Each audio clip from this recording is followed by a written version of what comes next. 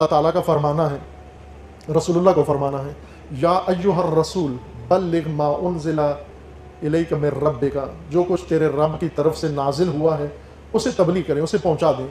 फ़ इन लम तफ़अल फमा बल्लगता रिसालता।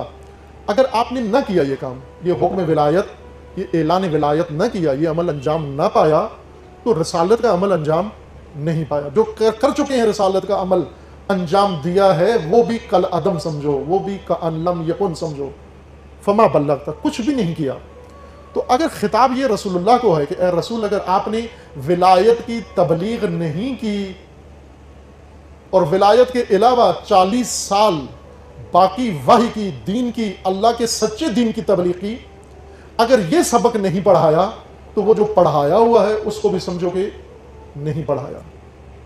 अगर रसूलुल्लाह को ये खिताब है तो रसूलुल्लाह के जो वारसान हैं, रसूलुल्लाह की उम्मत को, और रसूलुल्लाह की उम्मत में मौजूद उलमा को, क्या उन्हें ये पैगाम नहीं इस आयत के अंदर कि अगर रसूल की रसालत की तबलीग में विलायत की तबलीग हटा दे जे, हटा दे तो पीछे जो रह गया है वो कुछ भी नहीं है, वो अल्लाह को कबूल नहीं है। तो एक आलिम दीन ज़िंदगी भर दीन तबलीग करता रहे तो क्या ये आयत उसको नहीं कह रही कि अल्लामा साहिब अगर तेरी तबलीग में विलायत की तबलीग नहीं है तो जितनी साठ साल बातें की है, वो सारी का अनलम यकुन है?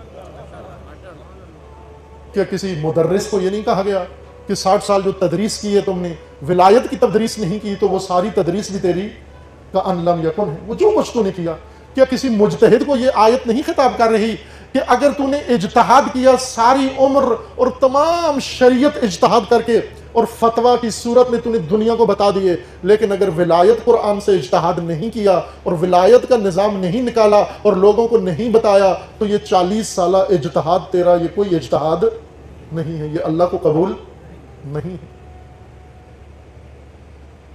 यूँ तो नहीं कि ये फ़कत रसूलुल्लाह के लिए था, कि आप अगर विलायत की तबलीग ना करें, फमा बल्लता रसाला था तो समझो कि कुछ भी नहीं किया। लेकिन उलमा, अगर विलायत का बाब बंद करके बैठ जाएँ और विलायत के बाब में एक जुमला भी ना कहें तो खुदा फरमाई माशाल्लाह, बड़ी दीन की खिदमत की आपने मेरे लिए। ये हो सकता है, ये मानते हैं आप लोग कि रसूलुल्लाह को तो कहा जाए कि अगर विलायत की तबलीग नहीं तो आपकी रसालत कबूल नहीं। कुछ भी जो किया है, वो भी नहीं किया।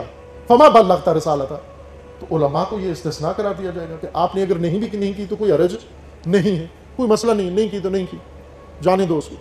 विलायत के बगैर ही जो किया है वो मुझे कबूल है। आम मोमिन जो दीन जिसने अपनाया, अगर विलायत के बगैर ये दीन ले लिया, आम मोमिन से कबूल कर लिया जाएगा ये दीन?